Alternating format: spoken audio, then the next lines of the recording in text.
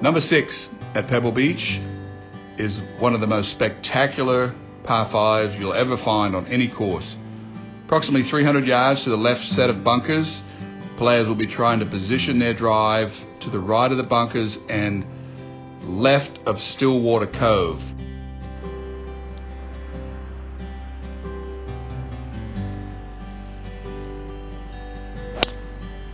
Every player in the field will be able to reach the sixth green in two strokes, so long as there's not a big into the wind. That was hammered. Second shot is totally blind. You have to pick a position on the hill to try to play your second shot. See red stake? Uh huh. See how it's the, the, the horizon? The last bit of grass that's on the horizon? Yeah. out of the hori- Is, that, Uh-huh. is that your line? That's maybe Roughly? a fraction right. That's roughly it. Yeah. That's a fraction right. Yes. Okay. Four iron, is that enough? Or do I need three? No, four irons enough.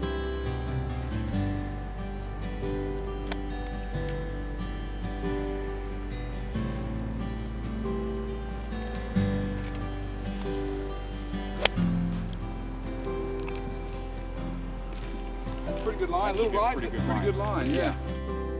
The only place to avoid is well to the right, but every hole at Pebble Beach, you want to try to keep your ball short of pin high. What do you think it landed? Short? Back here, a couple yards? Yeah, maybe just a couple yards. Thank you.